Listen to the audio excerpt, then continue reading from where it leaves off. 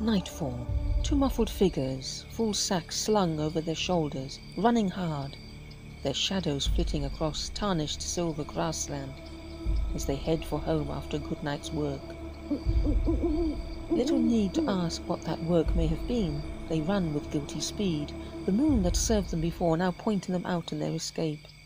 There is some doubt, however, at a certain point, should they have turned right further back. A quick whispered consultation, and they choose instead to go on across the land towards the clumps of trees huddled together in some form of copse.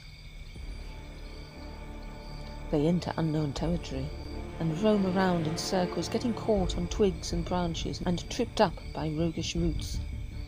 Their panic grows as they tumble deeper into the maze of trees long left to grow wild, until one gasps to the other, In the name of all the saints, what place is this you have brought us to?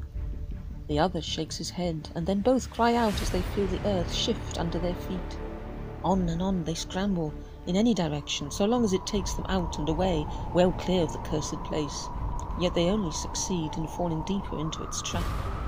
Where is that wind coming from? asks one of them, as a stiff breeze comes through, pushing branches about and thrusting yet more unwanted leaves and twigs into their faces.